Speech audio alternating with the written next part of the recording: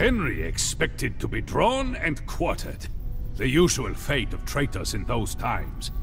But Barbarossa recognized the potential for a strong ally and officially forgave him, provided that Henry the Lion would swear to support Barbarossa from now on. Amazingly, Henry agreed. The Germans were unified, and Henry the Lion was pacified. But the Holy Roman Empire was not complete.